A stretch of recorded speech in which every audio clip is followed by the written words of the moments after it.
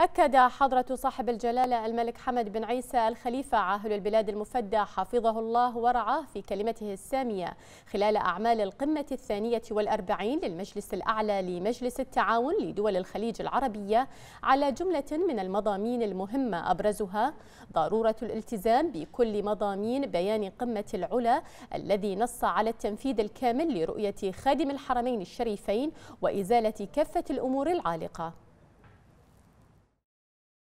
لقيت كلمة جلالة العاهل المفدى أيده الله اهتماما واسعا من قبل الصحافة الخليجية والعربية فقد جاءت مضامينها معبرة لمتطلبات المرحلة الخليجية ومؤيدة للخطوات الجامعة التي اختطها خادم الحرمين الشريفين وولي عهده الأمين. وفي مضامين الكلمة السامية أشار العاهل المفدى لضرورة الالتزام بإعلان قمة العلا المنعقدة في يناير الماضي في تأكيد واضح على موقف المملكة في التقيد بعرى البنود الملزمة لجميع الأطراف والتي تم تأطيرها وفق زمن محدد لإزاحة القضايا العالقة عن طريق العمل الخليجي المشترك بهدف المضي به نحو أهدافه وتحقيق مزيد من التماسك والنماء والازدهار والرخاء لشعوب الخليج إيمانا من جلالته بأن المسار الخليجي لا يستقيم إلا باستقامة الامتثال لميثاقه التأسيسي واتفاقاته الداعية لتوحيد الجهود وبذل المستطاع لتحصينه. وبهذه المناسبة نود التأكيد على أهمية الالتزام بمضامين إعلان العلا الذي نص على التنفيذ الكامل لرؤية خادم الحرمين الشريفين الملك سلمان بن عبد العزيز آل سعود وفق جدول زمني محدد وبمتابعة دقيقة للعمل الثنائي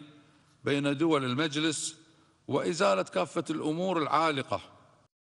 الكلمة السامية لجلالة العاهل المفدى حملت في طياتها كل المعاني الصادقة في لم الشمل الخليجي وتحقيق المواطنة الخليجية من خلال التقارب الذي لا بد منه والذي دعت إليه الدولة المضيفة الشقيقة الكبرى قبل قمة الرياض عبر الجولة الخليجية لولي العهد السعودي الأمير محمد بن سلمان. وجاءت تطلعاتها وتوجهاتها معبرة ومؤكدة على ما تتولاه. المملكة الشقيقة من دور كبير لتغريب وجهات النظر ولتجاوز التحديات وتقديم الحلول المطلوبة مع متطلبات مرحلة العمل الحالية وصولا إلى ما نتمناه جميعا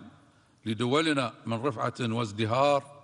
وتقارب لا بد منه لتحقيق المزيد من المنعة والاستقرار. هذه الكلمة السامية للعاهل المفدى نابعة من الشعور بالمسؤولية التاريخية الممتدة منذ أربعة عقود بأهمية هذا الكيان الإقليمي المؤثر كما أنها جاءت معبرة عن المواقف البحرينية التاريخية والدائمة في تقديم الحكمة والإيصاء بها والدعوة إليها من أجل رفعة المنظومة الخليجية وترسيخ دورها الإقليمي أمام كل التحديات التي تواجه دول المجلس مجتمعة أم منفردة. بسام البدوي لمركز الأخبار تلفزيون البحرين.